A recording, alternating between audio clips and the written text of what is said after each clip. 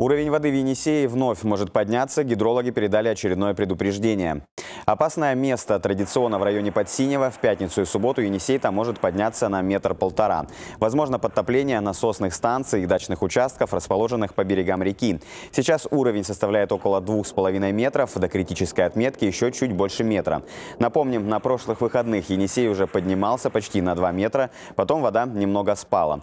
Гидрологи говорят, что это явление привычное, когда на улице мороз морозы кромка ледостава продвигается вверх по течению, поэтому уровень и поднимается.